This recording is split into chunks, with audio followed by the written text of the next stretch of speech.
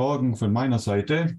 Ähm, genau, ich spreche heute, ach, das war zu schnell. Ich möchte heute über uh, Single-Page Application sprechen. Um, so I switched to English because I think it was uh, announced in English. So, so um, I'm speaking about single-page applications uh, and what security risks are considered uh, with single page applications. So this is the main topic. Um, let me shortly introduce myself. Uh, my name is Andreas Falk. I'm working for a company called Novatec Consulting located in the south of Germany in Stuttgart. Um, so I'm doing uh, usual IT consultancy uh, for, for big customers of, of banking, insurance, uh, for example. Um, and apart from that, I'm very keen on application security topics and also identity management. Um, that's why I'm also a member of the, the Open Web Application Security Project and also the Open ID Foundation. So if you want to reach me, you can reach me via Twitter or just directly write me an email if you have questions after the session or anything else. So let's dive in uh, into our topic. So we are talking about browser-based applications or single-page applications as it is called as of today. Um, so this nowadays is the most popular client type. So, so in the past, we often developed uh, server-side uh, web applications like, like Vaadin, like Spring MVC with Thymeleaf, or, or Java server faces was very prominent. Uh, but nowadays, it, it, it, it, went more and more into the, the client side uh, where we are running JavaScript-based uh, web UIs directly in the browser of the end user. And this brings me to the next point. So, so from a security perspective, this as well is the most problematic client type you can have because it, it runs totally under control of the user um, you as a developer, architect, uh, operator, you have no control over the application anymore because it, it just runs on the end user side in, in their own web browser. And, and this is typically installed by the end user. The end user installs some browser plugins that also may have malicious code inside, may be broken.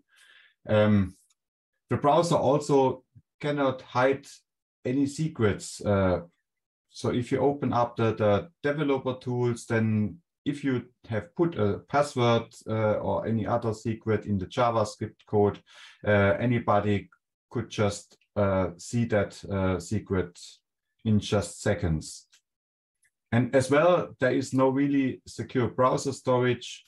Um, we will see it later, how you can really read all the browser storage just by one uh, cross-site scripting leak. Uh, I have a short demo on that.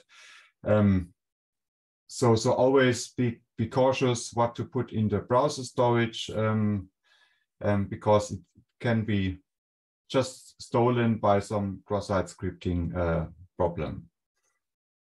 And here we talk about the typical frameworks like React.js, Vue.js, Angular, um, and also the, the, the, JavaScript language or the, the TypeScript language that is then transpiled into JavaScript as well. So we have also the OWASP top 10, and, and this is uh, the, the, topic of today is, is somehow structured uh, around the OWASP top 10 um, with special risks for the single page application. Um, so, so number one is the broken access control. And here we talk about cross-site uh, uh, cross-site scripting request forgery problems, uh, the cross-origin uh, problems, or, or, just the basic authorization problems. So the typical thing that you, for example, have a, a, a basket in your shop and, and you have a basket ID and just by, by guessing some other ID, you can access uh, the basket of some other users. So this is a typical authorization problem um, that most shops, uh, of course, luckily don't have anymore as of today. Uh, number two is cryptographic failures. So, so this is more like a backend uh, thing. You have also web crypto available in the browser, but usually most of the cryptographic stuff is happening on the server side. So we don't talk about that today. What we uh, have a really big focus on will be cross-site scripting because that is the main uh, danger of, of uh, having inside uh, your single page applications. Then my, my most favorite new topic in the OWASP top 10 as of 2021 edition is the new insecure design. Um, because lots of uh, security related mistakes uh, actually don't happen uh, during coding.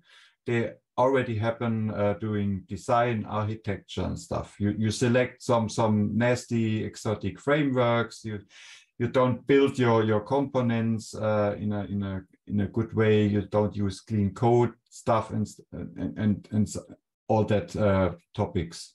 So that's why lots of mistakes also security wise happen in such early phases.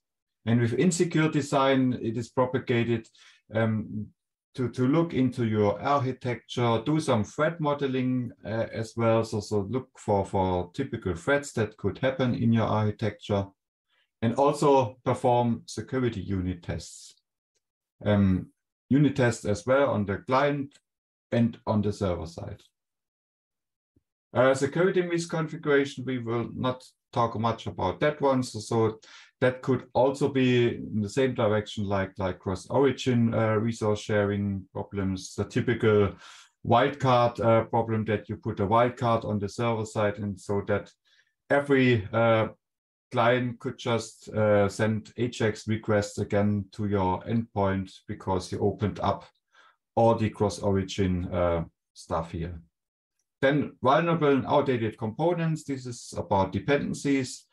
Um, this can be done by the NPM tool, for example. We will also have a bit later on that. One part is also the identification and authentication failures. Here we typically talk nowadays about OAuth 2.0 or OpenID Connect with JSON Web Tokens. So this is the state of the art authentication we use uh, also together with uh, our single page applications. Then software data integrity failures, uh, we also don't talk about that today. So, so here we'll find uh, also some, some deserialization uh, stuff, for example, that also usually happens on the server side.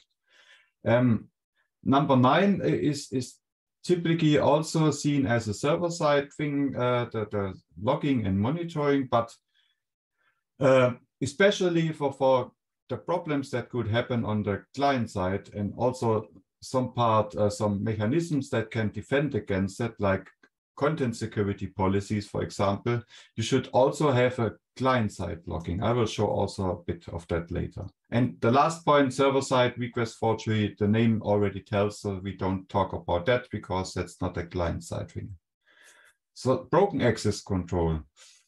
Um, so for those of you who don't already know what cross-site request uh, forgery uh, problem is, um, I have a, a short uh, scheme here shown on the screen. Um, you have the, the business client application. That's the intended application on the client side that you have built.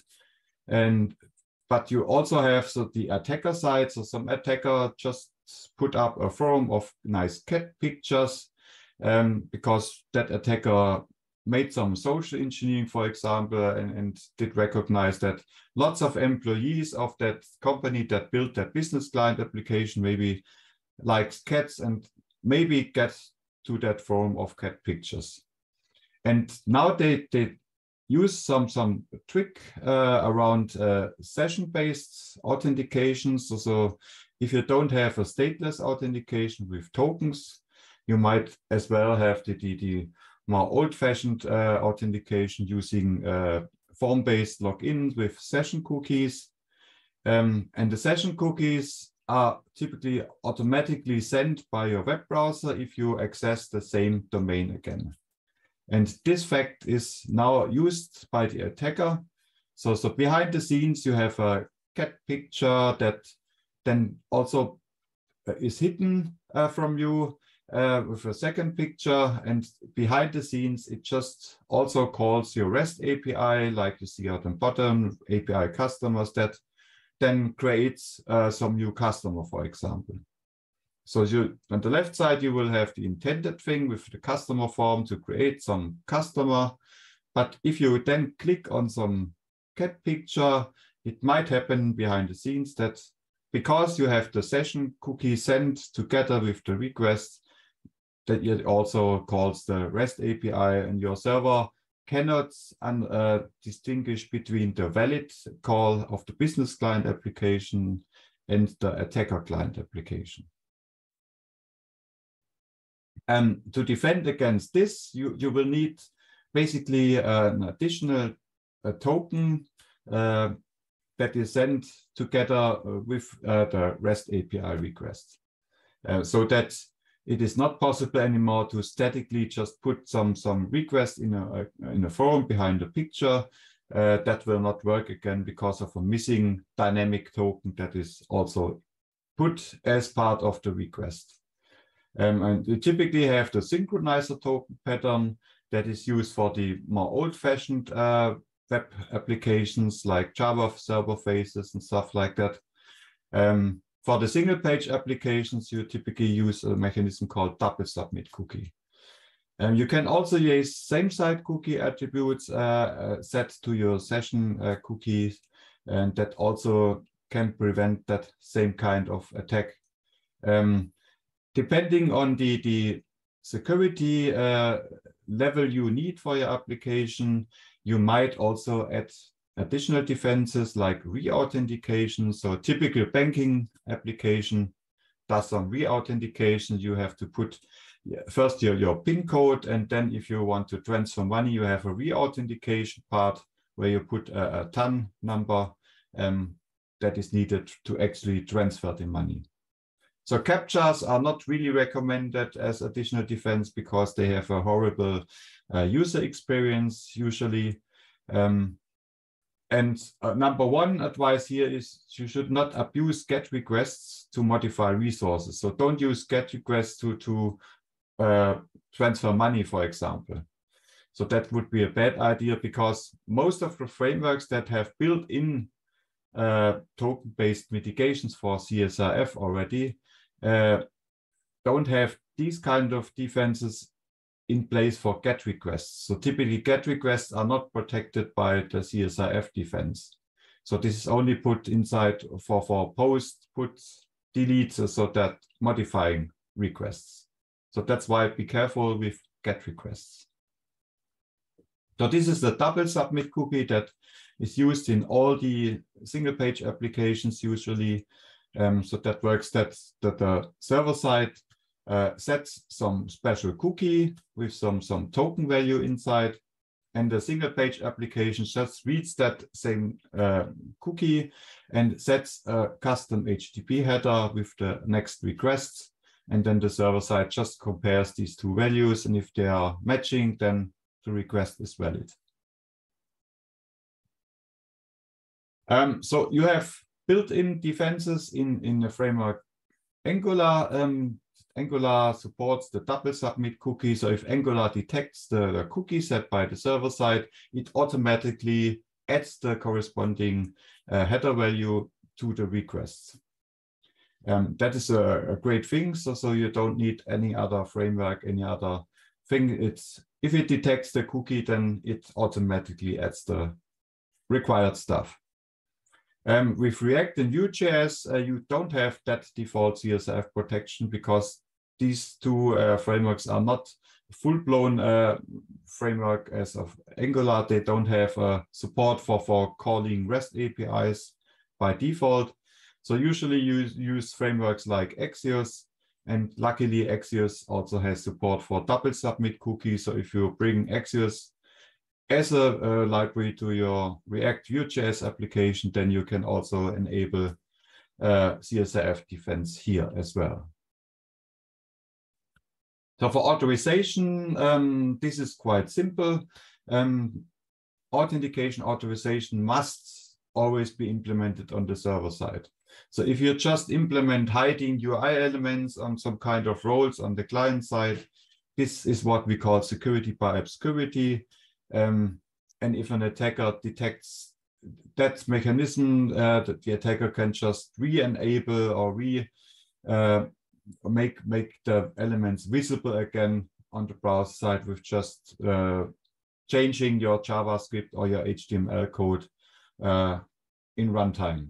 So that's an easy task. You also have attacker tools that does uh, do that automatically by just enabling some button in SEP, for example. You can uh, make uh, hidden elements visible or disabled elements enabled automatically in just uh, seconds. So that's no protection. So never try to, to uh, put only authorization authentication on the client side. So the main authorization authentication must always happen on the server side. Um, for usability things, you can still hide or uh, disable elements on the UI, but uh, don't uh, put your complete authorization mechanism on that. So now the, the main part will be cross-site scripting because that's the number one uh, risk for single page applications. Um, so this is the number one, as mentioned already, uh, security issue.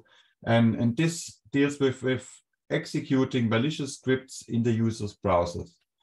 Um, you can have different attacks using cross-site scripting. Uh, you can steal tokens, session IDs that can be sent to an attacker site. I will have a short demo just in a moment.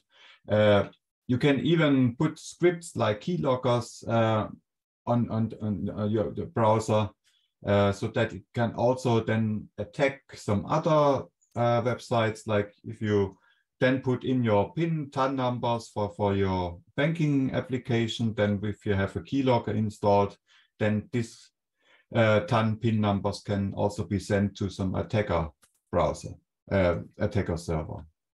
There are even uh, sophisticated tools available for attackers called like the BeEF tool um, uh, that can inject rootkits into a browser and then the browser will be totally controllable by the attacker. The attacker could just sneak in nasty scripts uh, and, and, execute uh, different things on your browser. So how does cross-site scripting happen? So, so Typically, you have some user input that is given to your single page application via the web browser that might end up on the server side as well. Um, but the dangerous thing here is that you have the user input uh, that is coming into your JavaScript application. Um, then it goes into some, some dangerous things potentially, like the inner HTML uh, uh, command um, this is then uh, uh, passed through the HTML parser. So this is not the dangerous part, but then if you have JavaScript code anywhere inside that uh, that parts here, like like in the inner HTML thing, uh, then the JavaScript engine of the web browser automatically picks up that JavaScript code. That engine does not care if it's malicious code or valid code. It just executes every code it finds uh, uh, inside that uh, inner HTML command. And then here would happen malicious code execution, like sending tokens to attacker websites and stuff like that, or the famous alert uh, box that you always uh, use as a proof of a cross-site scripting problem. And this is the, the typical mechanism how cross-site scripting happens. And you have three different types of cross-site scripting. Uh, so this is the most common one uh, that most people know about. So this is the reflected cross-site scripting. Uh, you have some user input that is directly uh, evaluated uh, by your uh, by your application. Um, this input then also goes to your server application that then directly reflects that input in a response. That response is then also evaluated in your web browser and, and put out, and you have cross-site scripting happening here.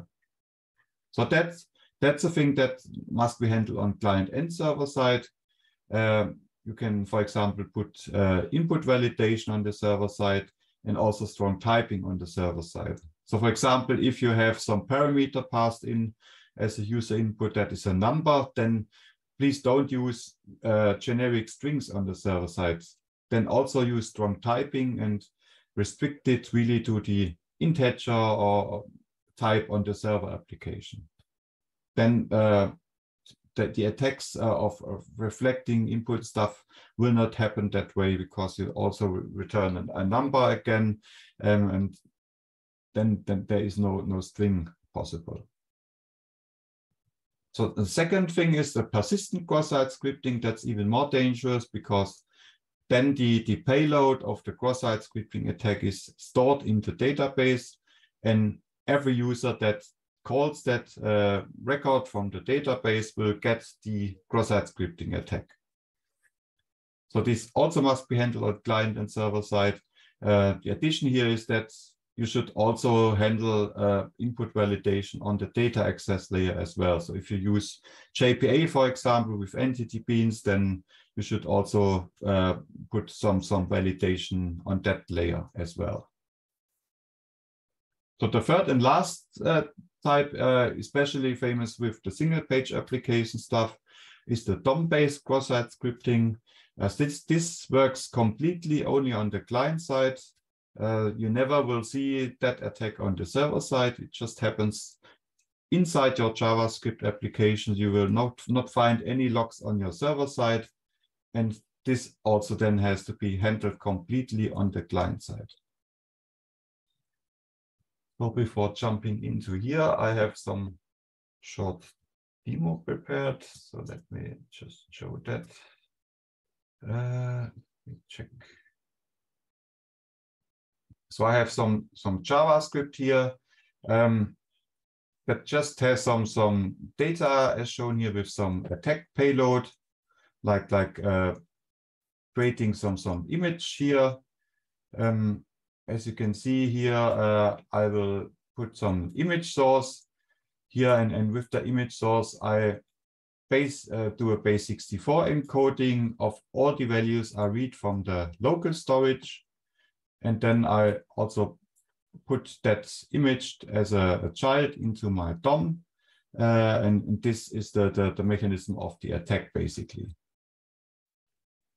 I've also prepared some, some attacker application already. So this is the attacker application running on port 8080 on, on here. You can see that's just a really simple Spring Boot application that reads in the, the, the value here uh, decodes that value from the base 64 uh, encoding and then just puts out uh, puts out uh, the, the decoded value here.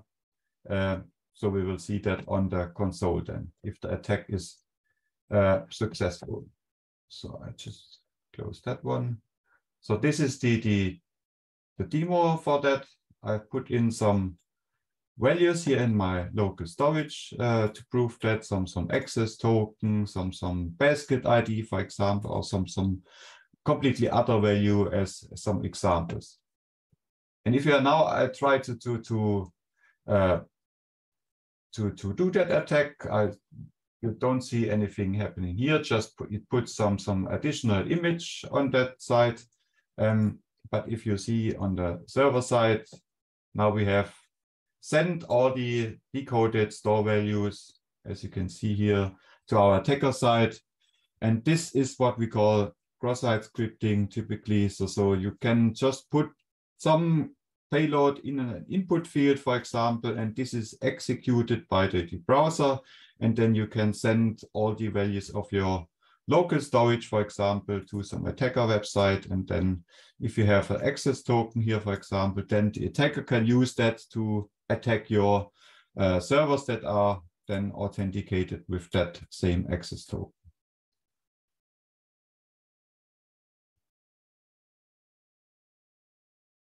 So that was the short demo about that. So you can see how that really works. And luckily, there are also some defense mechanisms for cross-site scripting. Uh, so especially for the, the single page applications, you have stuff like templates, like server-side rendering uh, mechanisms. And here, uh, one recommendation is do not put untrusted data uh, into that templates or server-side rendering. So, so it's a bad idea to, to render your templates or server-side rendering by using also user input. So sh should never do that because then you have not your trusted uh, static templates or server-side rendering anymore. Then always use strict input validations from typing on the server side. And then the main focus, because cross-site scripting really happens on the client side, uh, are mechanisms like contextual output encoding, sanitizing, putting content security policies in place, um, also a quite new mechanism called trusted types. I will also have a special section in just uh, some minutes for that. And you can also protect your session cookie um, by using the HTTP only flag uh, so that the session cookie also cannot be stolen uh, quite easily by some cross-site scripting attack. Because with HTTP only flag, no JavaScript application will read uh, that session cookie anymore. So contextual output encoding is the number one defense against cross-site scripting because usually if you build some single page application, uh, you typically don't uh, build uh, what we, we, call, for example, a rich text editor where you want to really encode uh, the values again as HTML. So, so you don't want to, to put that out as, as bold or, or, or blinking uh, textual representations. You just put typically textual representations out. So, so you just want to print out some, some value as a text value on your HTML page. And this is why the output encoding is a really good defense against cross-site scripting here. It just re-encodes all the dangerous parts like like the, the like the the uh, the opening or closing uh, brackets here, like, like the script ones uh, into what we call HTML and entity encodings, like you can see on the bottom with the ampersand encoded stuff. And this will not ever be evaluated by the JavaScript engine anymore. It just will put out that as a textual representation. And this then is completely indangerous. Uh, so no cross-site scripting is happening here anymore. Um, but uh, the difficulty here is that you might have different uh, variants of this output encoding depending on the context you have to encode the stuff. Like in the HTML entities, attributes, you use a bit different uh, approach, like in the JavaScript context or in the CSS context, or for using URL encodings. So that's why you should never try to implement that output encoding yourself um, usually you stick to the output encoding that's, that is built inside your frameworks as well. So, so luckily in, in most of the frameworks of today, uh, this is built in automatically. What is not built uh, inside lots of frameworks automatically is what we call sanitization. Um, this is needed if you really want to render your input value as well as HTML interpreted uh, thing, like, like you want to put out bold text or blinking text again. Um, this is quite dangerous because then it will again execute all the JavaScript parts as well, as you can see on the onerror part above here with the alert one. And in the sanitizer now does one thing, it just deletes all the dangerous parts of the HTML part so it still renders it as a bold text, but without the dangerous JavaScript part with the onerror part. So that is just deleted, uh, removed from that, uh, that uh, snippet here. And you can use libraries and APIs for that, like Purify is the most recommended one that puts a then sanitizer here. For URLs, there's also a special library available, the sanitize URL. And also the browser uh, manufacturers currently try to build a native API into the browsers called the HTML Sanitizer API. But as this is quite experimental, so I would not recommend to use that uh, as of now.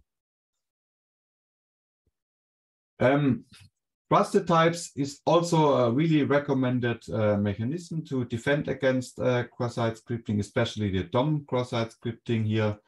Um, and this is a quite interesting mechanism because in, uh, instead of the other uh, mechanisms that try to, to just do some encoding stuff, um, this typically uh, defends the cross-site scripting at the really sink.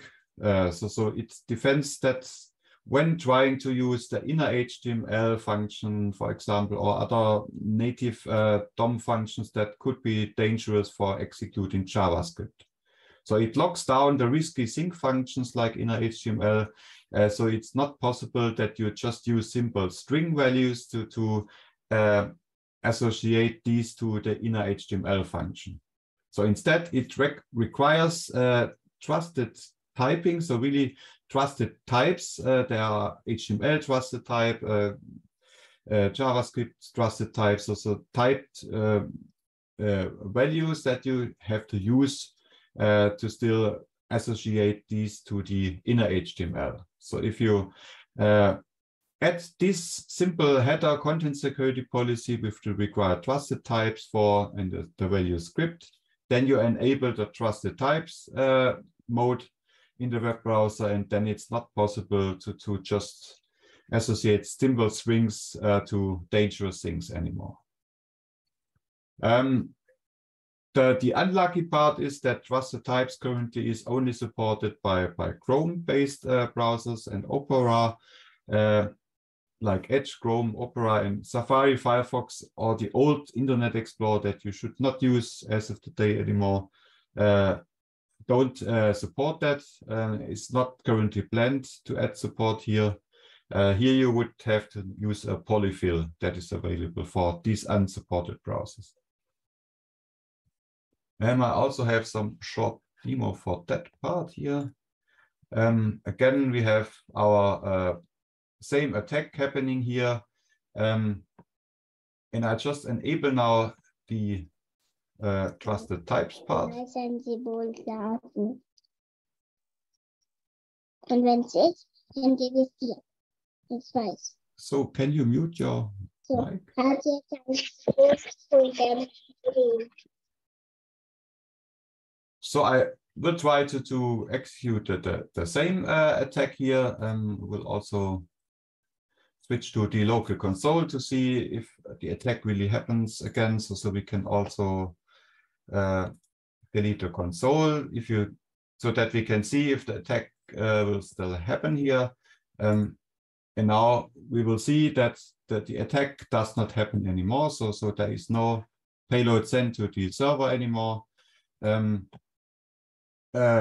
the, only by, by enabling the trusted uh, types uh, mode, as you can see here, it fails to, to set the inner HTML property now uh, this requires a trusted HTML assignment. So you cannot use simple strings anymore together with the inner HTML here. Um, but it also does not render image anymore, so it just it does not work anymore, so that feature. If you want also to, to enable that uh, feature from to work again, um, then what you also need is to put some uh, some policy uh, for using uh, trusted types here. Luckily, you can also uh, create a, a, default policy for all the uh, inner HTML things, for example. Um, here I also use DOM Purify because DOM Purify also has native support for trusted types already. Uh, to enable trusted types with purify. you just enable return trusted types to true, and then it returns the corresponding trusted type that is needed to associate this then to the inner HTML as we have uh, here. You can uh, instead also uh, sanitize that manually, but it is recommended to use trusted types because with that policy in place and with that header here, it just handles all the inner HTML locations you have in your code. So let's reload that again.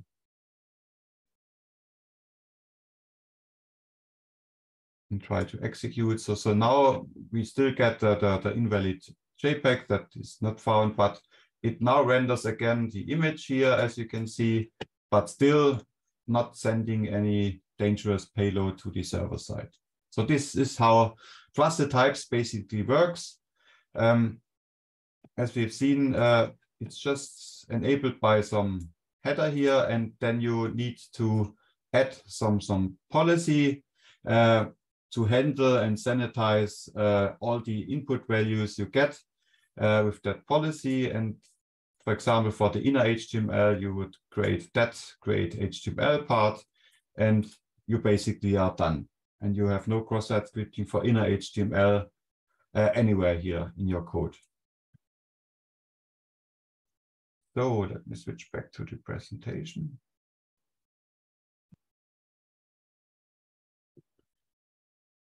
So for, for defending against cross-site scripting, luckily uh, in Angular, you have built in inside all the important features out of the box. So that's why I always tell that Angular nowadays is the most secure single page application framework you can have comparing to the other uh, possible frameworks because it has the output encoding directly in place. It has a sanitizer already in place for HTML, URLs, all the uh, nasty stuff.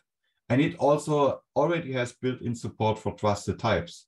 So if you put that header uh, inside your application and with the addition of trusted types Angular, then also Angular switches to the trusted types and internally always uses trusted types for inner HTML stuff like, uh, for example, yeah, as well.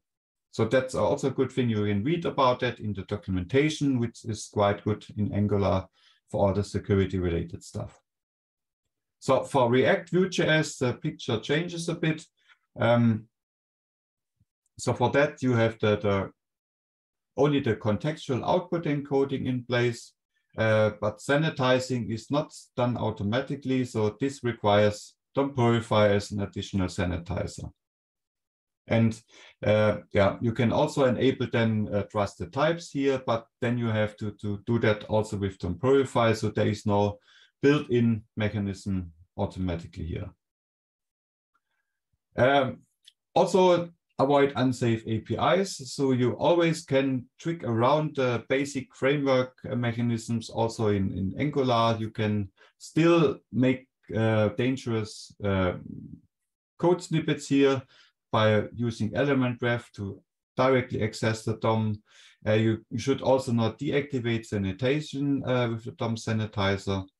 Uh, with React, you sh should be careful with using the dangerously set inner HTML. So that is named because it is dangerous, actually, because it has no sanitization in place automatically. Um, if you want to use that dangerously set inner HTML, always use it together with uh, DOM purifier as a sanitizer. Also avoid direct DOM access as well. And in Vue.js, it's the same picture. Uh, you should also be careful with the inner HTML calls. And there's also support in uh, what we call that static application security testing tools. Uh, here you can see an example where I used Semgrep uh, tool uh, for checking my single page applications. You can have, uh, as you can see here, it, it just puts out that usage of, of unsafe uh, locations in my application, also for the React part, by just performing your static application security testing you can also see parts uh, that are might be dangerous in your single page application. And then in security code reviews, if you uh, just see usages of these dangerous things, then you always have to discuss that with your developer, why this actually has been used on that code location. So I have also some quick demo on uh, Angular in place. Uh, let me just switch to the, no, that was the wrong one, the Angular playground. Uh, here I have a, a, secure component in place uh, with, with some, some uh, snippets that could be dangerous. And I have an insecure uh, thing in place. Um, with, with some, some native element, which you should not do as mentioned. So this is the, the native uh, DOM uh, performance here, uh, which I use. And I also have some, some templates in place with the typical uh, inner HTML or, or the textual output mechanism used in Angular. Um, let's see how that works. Um, so this is the, the, the secure uh, thing as, that you see here. And as you can see here, it, it sanitized some unsafe URL here with JavaScript alert. It stripped some unsafe uh, content automatically from HTML. Um, so you get an error with, with the URL context here. Uh, so, so you won't see any uh, cross-site scripting happening here.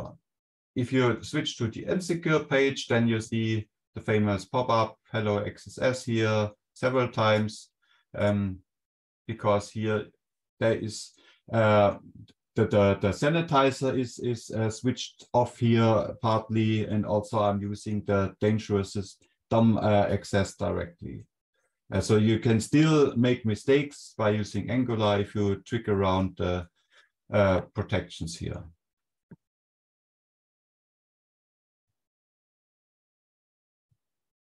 So I will uh, quickly jump over that part. Uh, this is an easy thing to do. So third-party dependencies, if you have vulnerabilities here, just use the npm audit fix tool. Uh, update your Angular framework to the latest versions, uh, fixes usually lots of that nasty things, or your React.js uh, version. So upgrading to the latest uh, versions is always a good idea with the single page application frameworks. Um, identification, authentication, I mentioned here that we have the, the uh, OAuth, OpenID Connect based authentication usually in place as of today.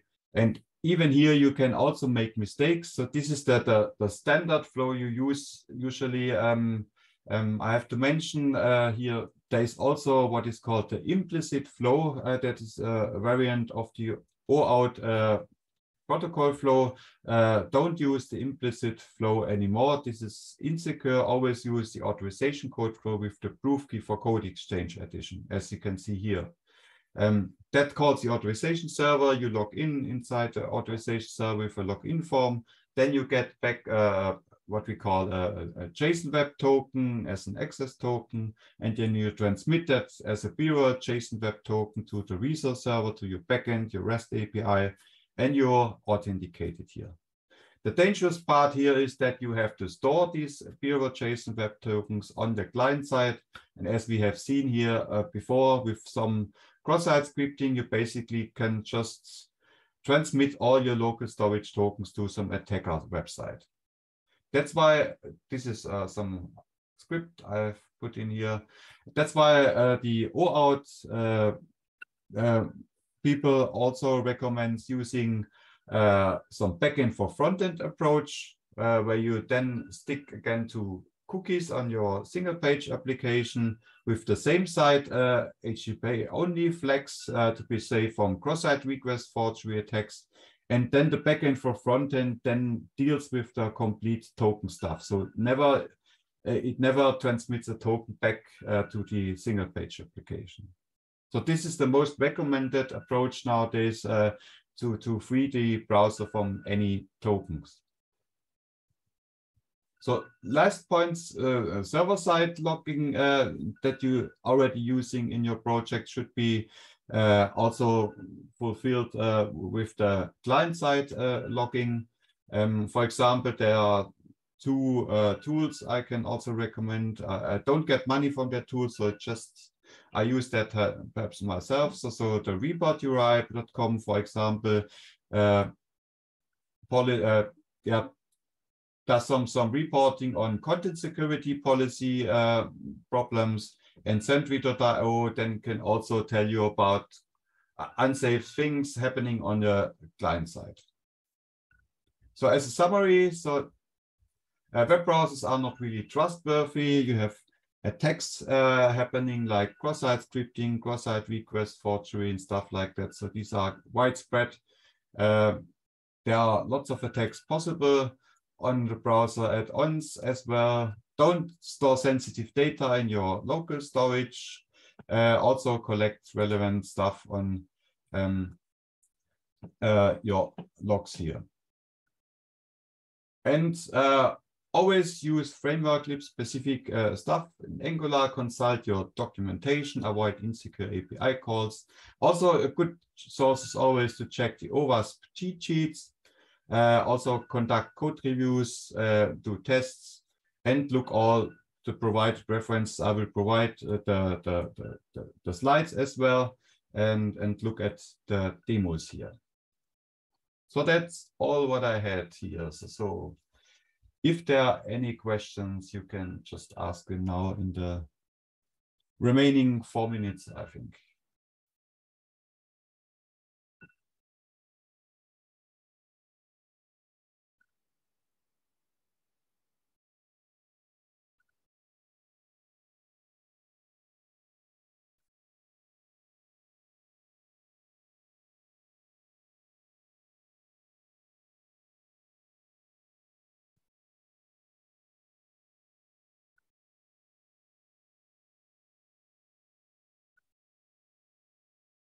So I have one question. Uh, would it be better to just run web application server side instead of using client side scripting, especially for high risk applications like, like healthcare solutions? Yeah, that's a good point. So, so, so you still can use server side web applications. You still have great support for Spring MVC with Thymeleaf, for example, is a great server side web application framework.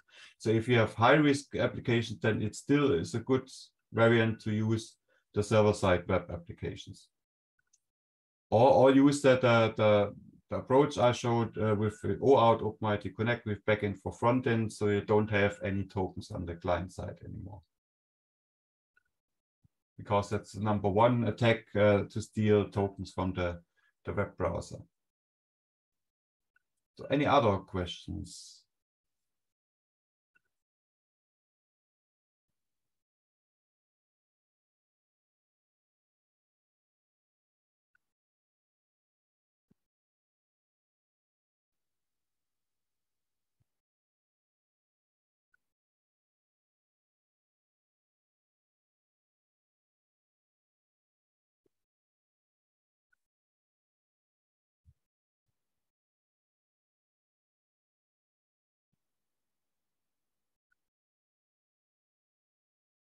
So, so if there are no questions, so you can always also write me an email on Twitter afterwards. So, so if I have shared the slides, you can always get back to me again and ask questions. So, so always be careful using single page applications. Yeah.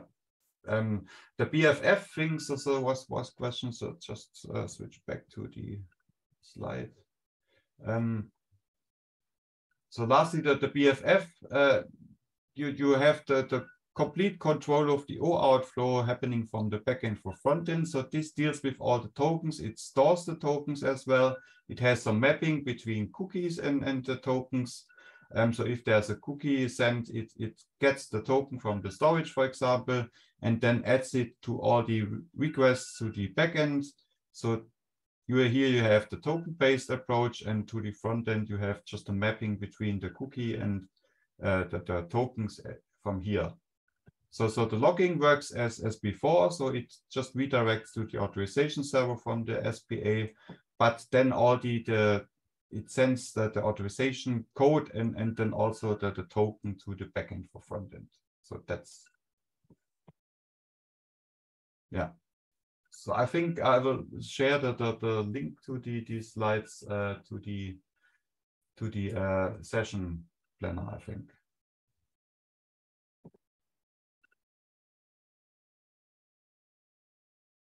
So hopefully that has answered uh, the, the BFF question. I also always have to put the windows aside. And that's all from my side, what I had today. So thank you very much. And I hope you have a wonderful uh, JCON conference and uh, with some other interesting talks afterwards.